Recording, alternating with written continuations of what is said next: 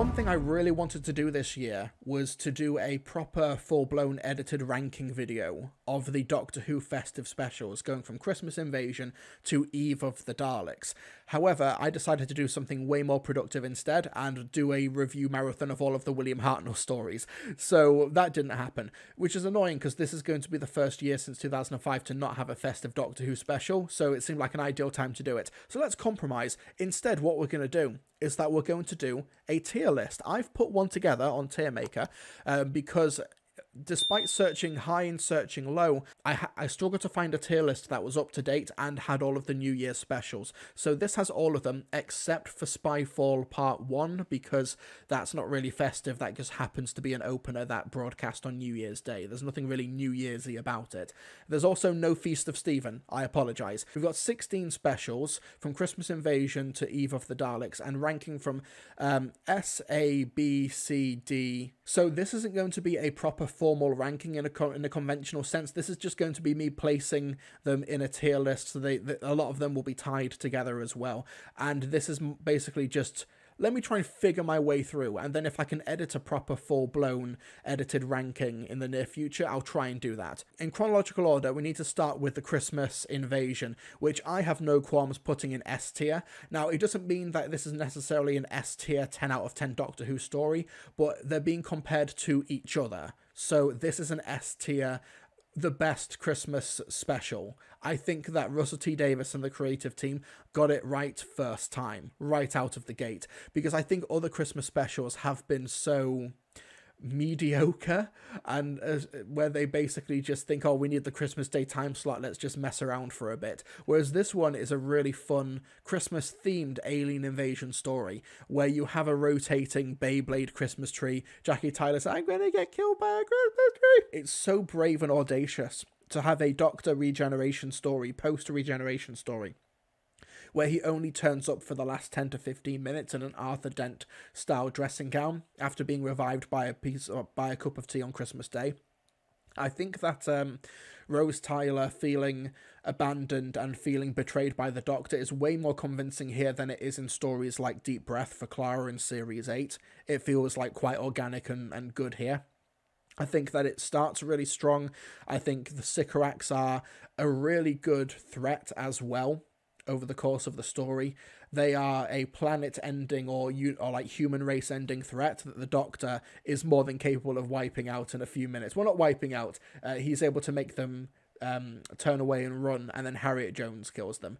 Chase them, we need the Sycorax back. There's actually been a really good Seventh Doctor and Sycorax story on Big Finish in their classic uh, Doctor's New Monsters range. That that was really good, where the Seventh Doctor gets possessed by blood control. But yeah, I have no qualms putting uh, the Christmas Invasion in S tier. The Runaway Bride is an interesting one where I don't think it's an especially great Doctor Who story, but in terms of Christmas specials, it is in the top half, I think. I adore the highway chase in the first act. I think it's one of Doctor Who, the revived series' best action set pieces where the Doctor's TARDIS, the best ship in the universe, is struggling to make it down the A4. And that's just a really great image. And the kids at the back of the other car watching, telling Donna to jump. I'm I am flirting with A and B. Uh, the chat is also kind of on the same level as me because Donna for the first few acts is really annoying. I did not like Catherine Tate in this story. It's only looking back retroactively, knowing that this is like the start of her character, that she becomes a lot more bearable. But it's not really until the very end, you know, especially when Lance is revealed to be working with the giant spider I think it's it's not really until then when I think that Donna becomes a, a, bearable presence on screen, and I understand that it's Catherine Tate doing what Catherine Tate did best at the time, and she was known as a comedian um, predominantly, so she's the the fun bride who the Doctor has to get back to the wedding and stuff. But I am sort of flirting between A and B. I think I'll put it in B for now, and maybe move it later on. I think that the um, the Racnoss is a really impressive makeup and visual effect, but it just stands there and does absolutely nothing. And then it's just the star at Christmas that gets shot down by tanks. It's a it's there's a lot of pomp and very little circumstance, and I also think that making this take place immediately after Doomsday, and you just have a Doctor who's just mourning Rose, it it gets a little bit tiresome until the very end when he uses that passive aggressiveness and that anger to murder the Racnoss' children. That's really good. So I think I'll put it A and B and maybe move it later on. I'm also going to put Voyage of the Damned in the same position. It's a fun spectacle, and I also think that Kylie Minogue is is surprisingly good. I think when it's trying to do the Poseidon adventure homage, I think that's where it works really, really well. But everything else is kind of a little bit ho hum. I think the production values are great. The Titanic in space is oddly inspired, I think. Bernard Cribbins is a really cool presence as well. You know, you aliens, don't you dare! Uh, I didn't really believe the Doctor loved Astrid, but I believed that Astrid loved the Doctor. And uh, you know that that goodbye kiss as well. That's you know that's a bit of like Hollywood magic, I guess. And they're in the uh, the smart formal wear as well. It feels like Doctor Who goes to Hollywood, and I I like that vibe.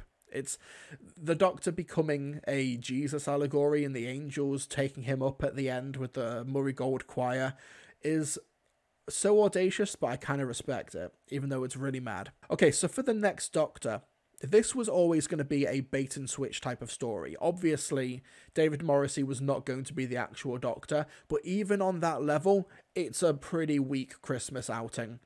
I like the Victorian Dickensian opening. Uh, you know, what day is this? Oh, why, it's Christmas Day, sir. I like, you know, I like that. It's a cool vibe.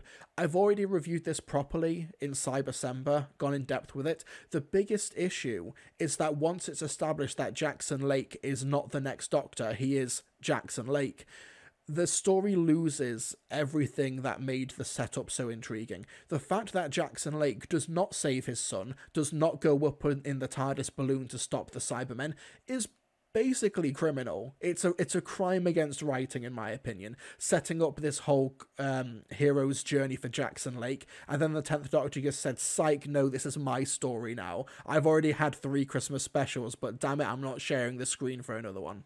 Just give me a proper cyber mech shape my head." I actually think the visual effects are really strong for it, but it is a lot of just CGI effects with very little tangible presence on the story and in the universe that it's set in proper.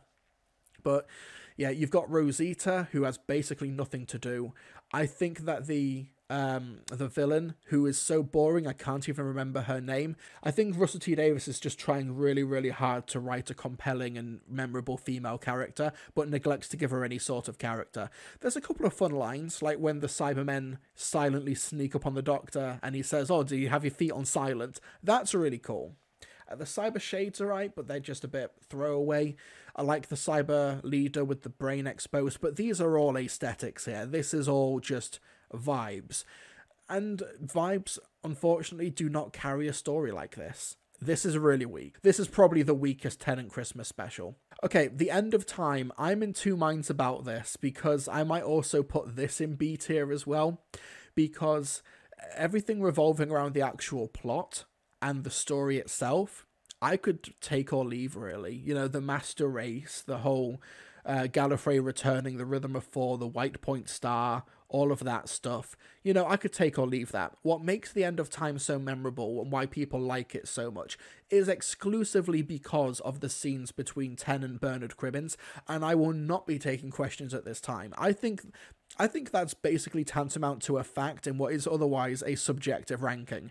That everyone loves The End of Time because of David Tennant and Bernard Cribbins, because those two have just such an astonishingly good chemistry with each other, and they are acting at the top of their game.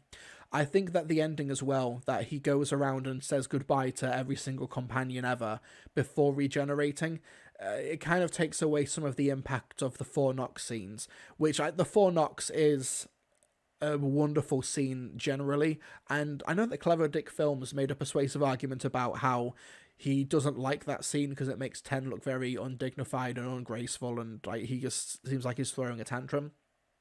I, I meet him halfway on that point, but I think that the way it's shot by Euros how when he gets up from the floor and the reflection is already in the glass chamber, Ten's reflection is already there, I think that's his state of mind. He's already in there. He's just raging at the dying of the light, and he's just it is it is almost Shakespearean.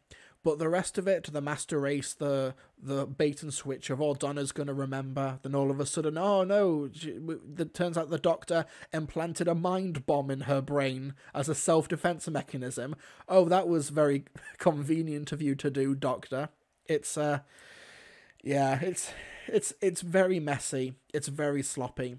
And I also think it's weird to have Timothy Dalton narrate so much of it. It's it it's going for grandiose, and oddly enough, it only kind of reaches grandiose when it's as small as possible. Dalton, great voice there. Oh no, Dalton is great as Rassilon, but he doesn't do anything. He turns up at the end of the story wearing the gauntlet and is like, "Oh, you'll die with me." And then he just gets yeeted by the master. The master eating all that food was peak. True, it is it is camp. It is high camp and high art occasionally. Standy Shouty Man. Yeah, Ollie Tom. He's the Standy Shouty Rassilon. That's the that's the incarnation. He's not the War Rassilon. He's the Standy Shouty Rassilon. Actually, no, that's true though. War the War Rassilon is Richard Armitage. He turns up using recycled tortured props, says vaguely threatening things, and leaves. Yep, but he does it brilliantly. Right, let's talk about Christmas Carol. I remember giving this like a 5 out of 10 when I first saw it, and I've not properly revisited it since. I don't. People rave about this one, and I don't quite understand why. I really don't. This is I think this is a story where um I might be in the minority here. I think that I, I agree with the chat. It is the best Matt Smith one, but I still don't think it's that good. I think it's trying so hard with the whimsy that it kind of forgets to make the relationship between Kazran Sardick and Katherine Jenkins's character, who is so dull that I've forgotten her name. They try so hard with the whimsy that they neglect that core romance in the center of the story, and I just didn't quite believe it. I think the concept is really interesting where the Doctor literally Christmas carols a guy where he is the ghost of Christmas past, and there's the there's incredible shot where Kazran Sardick is watching a projection of his younger self on screen crying because he can't go out fishing or something.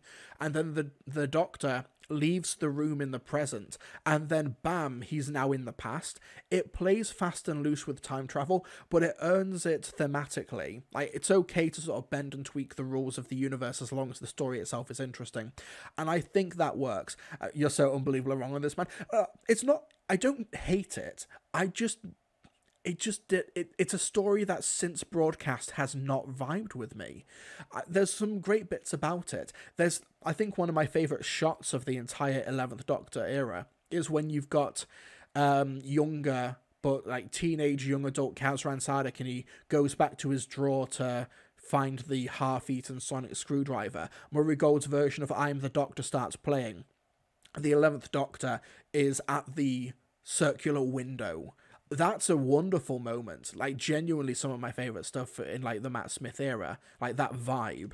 But the actual story itself, and I think the second half really loses traction. I think it's the second half where you sort of like lose the immediate stakes of the story with um the the crashing spaceship. It seems like the Eleventh Doctor is spending so much fun trying to marry Marilyn Monroe where he's kind of neglecting his duty of care towards Amy and Rory. It tries to have it both ways, and I don't think Moffat quite reaches the balance of it. I also think the ending is a little bit underwhelming. Uh, yeah, but it starts really strong. Matt Smith's great in it. I think this is sort of like the transition towards the serious old man in a young man's body to the kookiness of Series 7, but this is like a really good balance in the middle. Like, I'm, I'm going to put this in the middle because if I were to put A Christmas Carol in the C tier, like, it's better than The Next Doctor. And I think it, I, I maybe like it a bit more than I did when I first viewed it. I've not gone back and watched my original review because I will cringe and die. But I can't in all justification put this in C tier because that C tier ranking for Matt Smith is reserved for The Doctor, the Widow, and the Wardrobe. A story with weak child actors, a weak emotional core, a plot that meanders for about a good 30 minutes where nothing progresses. You waste Bill Bailey and a bunch of other comedians for a Caves of Androzani callback that amounts to nothing. The opening is cool, where the doctor's the caretaker of this home, and there's that wonderful scene when he says, You know, you're trying to make the kids happy now because you know they're going to be sad later. That's really cool. And I like the aesthetic of the Christmas present being a portal to this wonderful forest. But apart from that, there's very little to it. The morals at the end are really questionable as well. Like, how did you meet your husband? Oh, he followed me home. He kept stalking me, and he wouldn't take no for an answer when asking if I could marry him. It, nah, it was not. It was not it, Chief. There's enough good in it that I can't justify putting this in the bottom tier. But like, it's it's not as good as Christmas Carol. It's not as bad as the other specials, which are definitely going in this ranking. But honestly, I I'd maybe only watch the first act and then turn it off. Can't you make an F tier? It's the bottom tier, so we can make it S, A, B, C, and F. I don't know. F. Tell you what, let's turn this into A tier, then B, then C, then D, then we go to F. Are you happy now, chat? A, B, C, D, and F. The ending was the best part of that episode. Oh, yeah, of course, I almost forgot because this story ends with him going to meet um, Amy and Rory for Christmas dinner. That's really nice. Chat is never happy. That's true, but I, I try to be the, the peacemaker. It is my gesture to the chat this Christmas, this this festive period. But yeah, I forgot about that ending where he meets Amy and Rory and they're in the Christmas jumpers. That's really nice. So that yeah, that's kind of it. That that's all I that's all I'll, I'll say. Farren Blackburn's direction's really cool. I don't like the opening when the um where series six ends with oh you I, I got a bit too quiet Dorium I got a bit too noisy I've got to step into the shadows and then if you watch these stories like in in story order back to back the very literal next thing the the 11th doctor does is blow up a spaceship one of these things is not like the other. F is reserved for the next two Smith specials. Maybe not the next two, but definitely the Snowmen. This is an unambiguous F tier. This is trash. The Snowmen is so bad. From the story's opener, where you've got this kid who's um who's being neglected by the other bullies on the playground, and in order to act like he's not strange, he starts talking to a snowman. It wastes Richard E. Grant. It wastes Ian McKellen. Clara's a bit insufferable as a maid who who's basically just been transposed from the future. And I like the TARDIS reveal scene. I think Matt Smith looks cool as an Ebenezer Scrooge type character but he's not particularly interesting as a character. Go to your room. No, you've been very naughty. No, it's no good. It it's it's shot well. It's got a really strange resolution with the with the tears of the snow and the and uh, with Clara dying and she falls off the cloud because somehow the ice lady got to the TARDIS and it's just it's just one thing after another and it's just really tedious. The Paternoster Gang stuff is not as interesting as it as it likely should be. There's the one word test scene in The Snowmen, which is genuinely one of the most insulting things to come out of the Steven Moffat era, where Clara says the word pond just because the plot requires her to and it's just honestly, this felt like a period where Steven Moffat just delivered a very first draft because he was also working on the 50th anniversary and also Sherlock Series 3 and Series 4 at the same time. He was overworked, and stories like The Snowmen are the consequence of that. The Snowmen is Snowman is, is, trash. And then all of a sudden, in one scene, the Doctor just turns up wearing Sherlock Holmes garb. Like it's just references for the sake of references. It man, I think you're drunk. Only on knowledge. That's that's what I'm drunk on. The time of the Doctor. For a good long while, this is in F tier, and then the third act happens and then it moves to D tier. It starts interestingly with the message from Trenzalore, and I like thematically the idea of the Eleventh Doctor just spending his final incarnation on in the town of Christmas, defending the town from everything that may come his way as he tries to defend the crack in time as well, so that Gallifrey does never get the answer to the question Doctor Who and all. But it is honestly just a lot of flibbity gibbety. It is it, it's very pretentious and ponderous, and I honestly don't really engage with it until Clara returns back to Christmas and Matt Smith is in the old age makeup looking a little bit like William Hartnell. And then there's a really cool regeneration. It made didn't it make like my top 10 or top 15 like the regeneration of the 11th Doctor into 12. Like I, there's some stuff I adore in this story but it's relegated to like the the last act of the of the episode of the special. So i cannot in good conscience put it much higher. I would genuinely watch any of these other specials over time of the doctor. Like i love handles. Handles is terrific. But this is once again uh, weird sexual harassment doctor who is naked when visiting Clara's parents and makes Clara naked as well because the clothes can only be seen by them and the viewer apparently.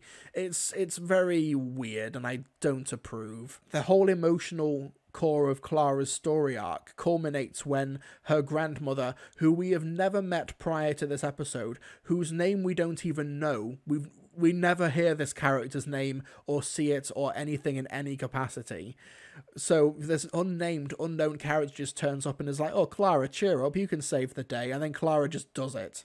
It's not, it's not, it's not it, Chief. The nudity gags were horrible, some of the worst things in his era. Yeah, and it's it's thankfully it's concentrated almost exclusively to series seven, so you could you can you can ignore most of it. Right now we move on to the Capaldi era. We've got Last Christmas, which, believe it or not, is one of the more recent stories here that I have actually rewatched over the past couple of years. Last Christmas, though, despite having rewatched it quite recently, like I've watched it more recently than Christmas Carol, Doctor Wood and the Wardrobe, and The Runaway Bride. I hardly remember anything about this one. It's the Dream Crabs one, and Santa's in it as well. Nick Frost is totally wasted here as a cool old man's idea of what a cool Santa could be like. Um, Last Christmas is just not it's not an engaging story. The character who's meant to be, oh, this is going to be Clara's replacement, is a good performance, but the character has like basically nothing to her apart from she sings a Christmas song at one point, and then it's meant to be pretty subversive. The whole Clara deciding to become the companion again at the end does feel forced, and that's because it wasn't meant to be the original ending of the story. It was meant to be Clara. This was meant to be Clara's second departure story, but she changed changed her mind again, and that's how we got to Series 8. So, Series 8 allegedly was meant to be an entire Doctor season with no companion, and Clara had to be hastily rewritten into several of those stories, if those rumours are correct, which obviously I cannot properly confirm. But yeah, so Clara just all of a sudden gets a departure here and then is brought back on board to the TARDIS again. You could say it feels forced, because it is. True, the elves that help Santa are abominably cringe. The dream crabs are are Moffat trying to do Inception, but a really lame and boring version of Inception. Um, yeah, Last Christmas. I don't even have. Uh, sorry, uh, Series Nine. I meant Series Nine. Sorry, I love the alien joke though. Yeah, there's a, there's the odd cool line here, but that's about it. And also, isn't Danny Pink in this special as well for like a scene? I don't even like. I don't even remember what happened with that one. Anyway, right, let's go immediately to a good one. The Husbands of River Song. This is B tier. I think that the second act is a little bit wibbly. I think the second act is just a lot of 12 and River running around. But Capaldi and Alex Kingston have genuinely great chemistry with each other. Way more chemistry than Matt Smith and Alex Kingston did. And I, I actually did like the Eleven and River Song dynamic for the most part. I think Hydroflax is fun. There's a great scene at the beginning when Capaldi just goes fully anti-monarchy, but the Husbands of River Song is it's it's a fun one. I also has a really lovely ending. It's a it's an ending that goes on for just the right amount of time. It's not super a thousand scene long self indulgent ending like the end of time. This this hits the spot. This is like the emotional Goldilocks of the Christmas specials. I can't put this up with Christmas Invasion because that second act really doesn't have a lot to it really. But there are some wonderful scenes when the Doctor gets to pretend to be shocked by the interior dimensions of the TARDIS, which is one of my favourite scenes of the revival. I don't have too much more to say here, but I, I really do like the Husbands of River song. And I think Capaldi and Alex Kingston really do carry it. Greg Davies is fun as well. I didn't like Nardole in this story though, which is why I was so baffled when for Series 10 they were like, yeah, we're bringing Nardole back as a proper companion uh, yeah, I did not like him here. He wasn't very fun. He wasn't very interesting. I also think he's not that great in the Return of Doctor Mysterio, but he is a marked improvement. I'm, but I am tempted as well to put this in B tier as well, because Return of Doctor Mysterio, you'll sleep on this. I think. Now, yes, I am ranking Return of Doctor Mysterio above Last Christmas and The Time of the Doctor, and maybe above Christmas Carol. I'm kind of flirting with like between B and C tier. The only reservation I have putting it in B tier is that it's really not that much of a Christmas special. It just happens to be set at Christmas, so it may lose some points here. But then again, I'm also going to have Resolution and Eve of the Daleks and Revolution of the Daleks, and they're not Christmassy or particularly festive either. But yeah, I, I think I might put this. I'm still flirting with C or B tier. I'll figure I'll figure it out eventually. Steven Moffat is not doing interesting superhero subversions even though he clearly thinks he is. Like these are jokes that are literally decades old. And I also think that the villains who are able to um like open their heads up, not that interesting. I will say though, I do like the superhero love story. It is basic, but it is like Clark Kent, Lois Lane, Superman, um, hidden identity thing. I like the climax of the story. I like the the crashing spaceship and twelve and Nardole inside the the cockpit as well. Everything with the baby, you know, your bomb's got. It's good. I, I, yeah, there's also the really great shot when um I forget her name. She she's the Lois Lane journalist character.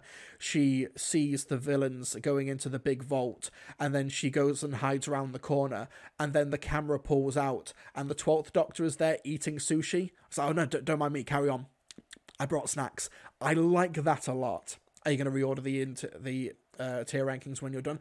Maybe, but I'm with the exception of Return of Doctor Mysterio and Runaway Bride, I'm I'm pretty happy with this tier so far. Nardole makes a bad first impression where there's oh can I go to the little boy's room, but he ends it strong with that speech about um, River Song and the ending scene where he starts up the TARDIS again. That's really nice. I liked that a lot. I think I'm going to leave this in C tier.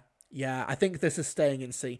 It's good, but it doesn't there's no scene as emotionally impactful as the ending of Husbands of River Song. There's no scene as funny as the 12th Doctor going into the TARDIS for the first time.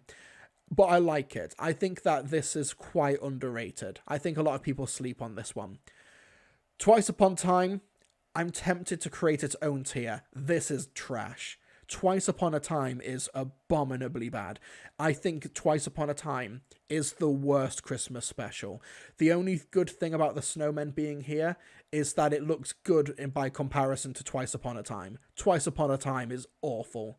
Genuinely, genuinely trash.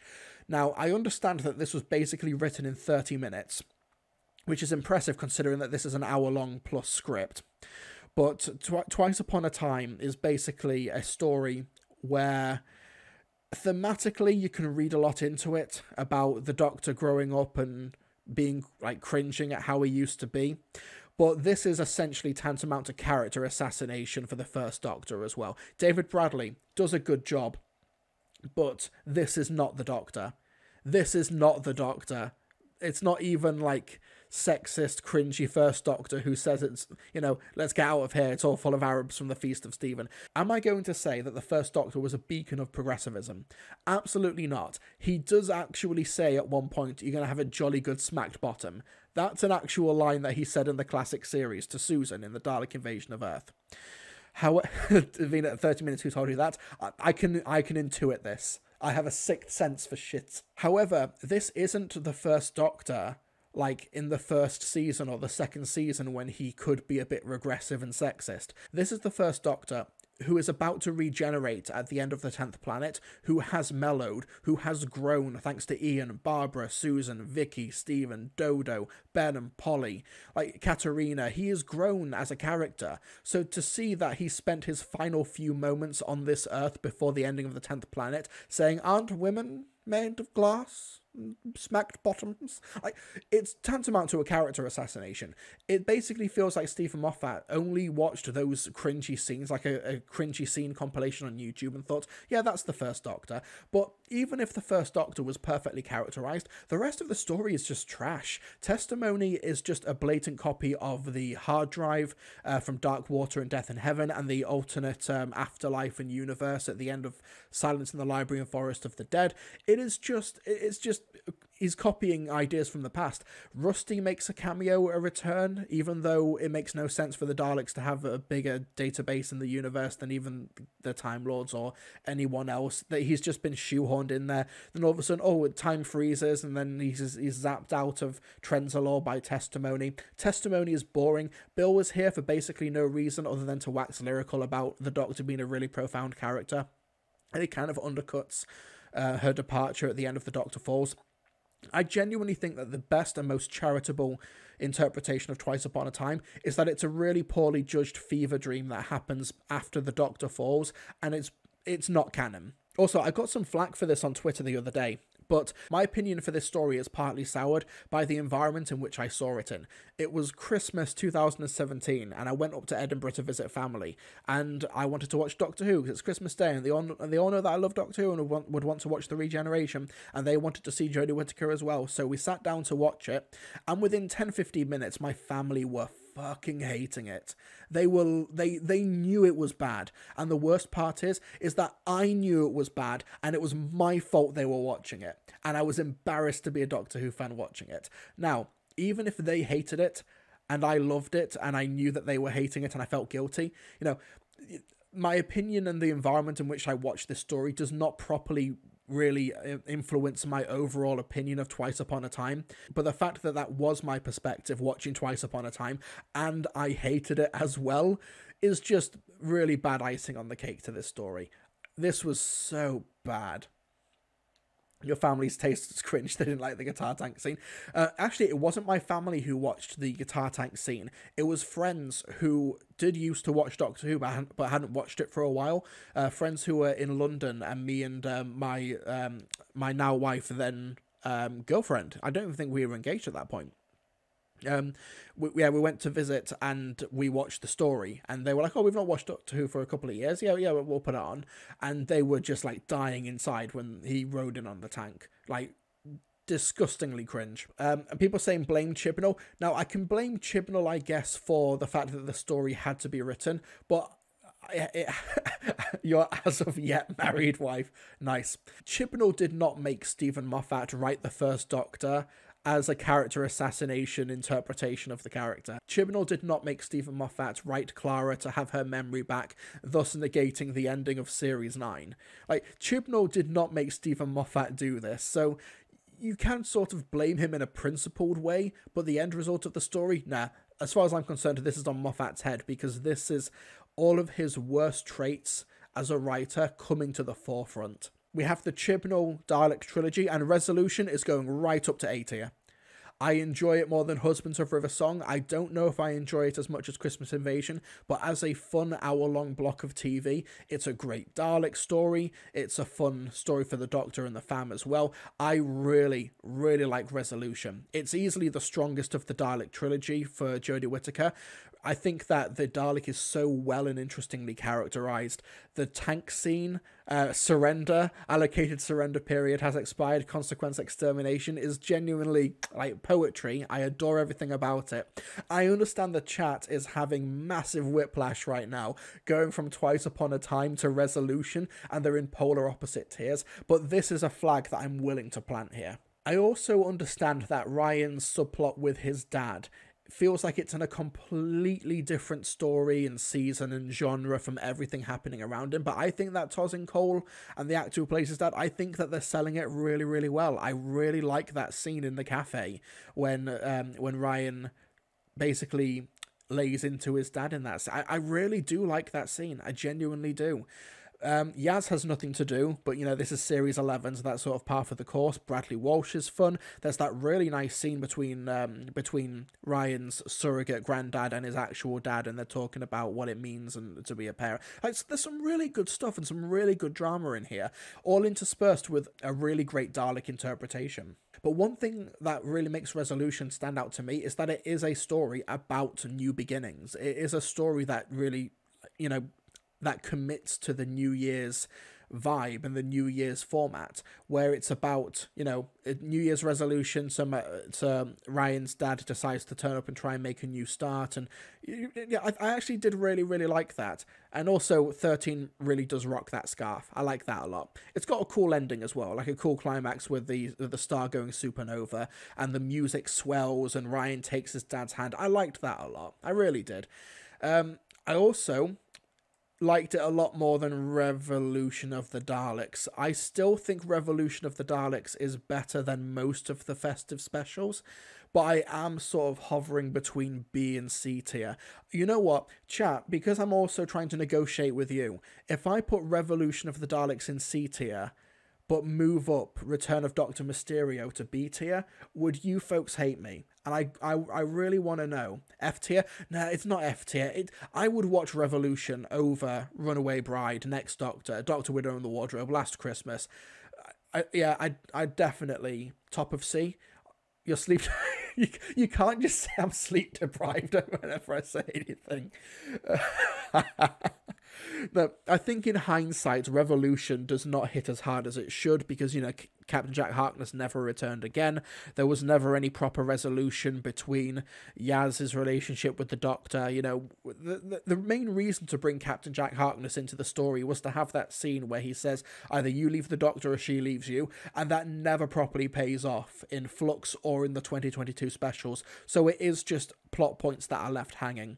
The prison break is, you know, it's a cool environment, it's a cool way to start the story, but basically, she gets locked up in Shada at the end of series 12 only for Captain Jack to break her out by the end of the first act. And there's also the whole, you know, what would what how do you stop the Daleks or stop an alien invasion without the Doctor? Oh, it turns out you don't. You just wait for her to turn up. That's lame. That's re- yeah. This is in C tier. I like the Daleks' interpretation. I actually think that Jack Robertson is pretty good in this story as well, and I like where they leave the character at the end of the story. Even though Chris Noth is going nowhere near Doctor Who ever again after recent allegations. But uh, yeah, and also um, and yeah, and Captain Jack is leaves through ADR dialogue. Yeah, I, I I do like this, but I can't justify putting this in B tier. Wait, that was Shada? It looked just like Shada. It's not been confirmed to be Shada, but two seconds. So that's that's Shada. A big rock with uh, the prison on the side of it. It looks enough like Shada. It's Shada with a redesign. I it, it can't be a coincidence that it's basically a giant rocky meteorite with buildings jutting out of it, right? Spiritually, it's taking its cues from Shada. It has to be, even if it's not explicitly named Shada. Anyway, yeah, there's too much holding it back for me to put it any higher. It's it's I think this is on the high end of C tier, but uh, I'm not properly ranking these right now. I, I might save that for another video, but this is this is in C tier, but it is like a high C tier. It's got some great Dalek action in it. I like the uh, the idea of Dalek purity and how this one Dalek like clawed from like back from the dead numerous times and did everything it could to bring the fleet to earth to invade and they just they just kill it brutally. I loved that. That was so perfectly dalek. I loved it. Captain jack does nothing. The fam do nothing.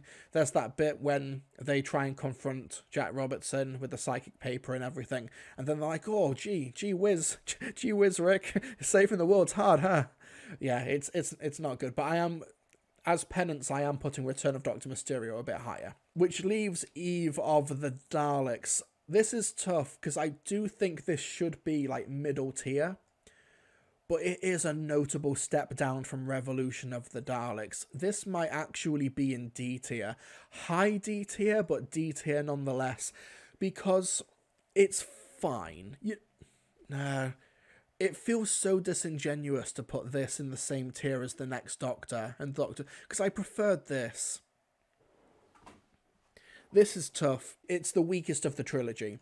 It's for me, Eve of the Daleks is unquestionably the weakest of the trilogy. I admire its um, its lack of ambition.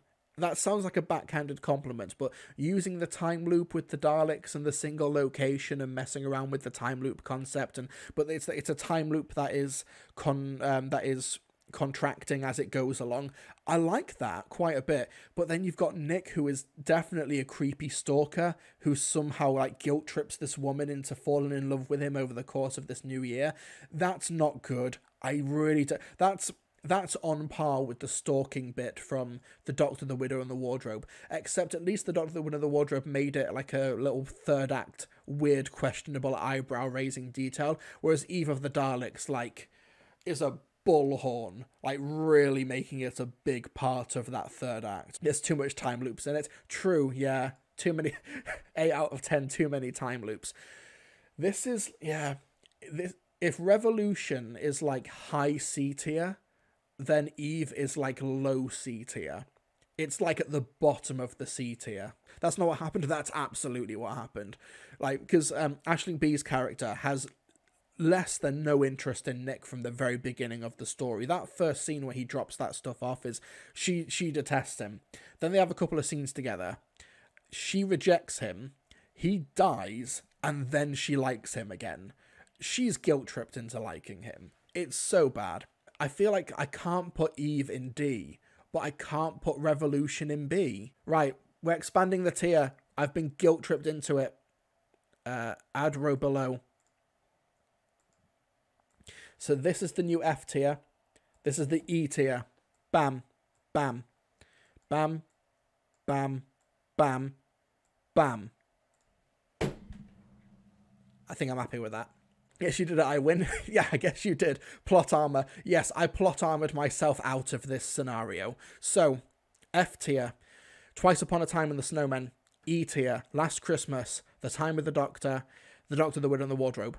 D tier. Eve of the Daleks and the Next Doctor, C tier, the most cramped tier, Revolution of the Daleks, A Christmas Carol, The End of Time, Voyage of the Damned, The Runaway Bride, B tier, Return of Doctor Mysterio, and The Husbands of River Song, and A tier, Resolution, and The Christmas Invasion. I'm going to say definitively, Christmas Invasion is the best, Twice Upon a Time is the worst.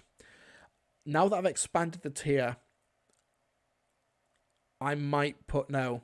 I'm ha- I, you know what? I'm happy with this. The only question mark I've got is the return of Doctor Mysterio. But I feel like I yeah maybe. I, I can't justify putting Eve in the same category as Doctor the Widow and it's in the yeah, but it feels it feels in the right place being with the next Doctor. Okay, Bad Wolf Archives is going to be mad. Let them come.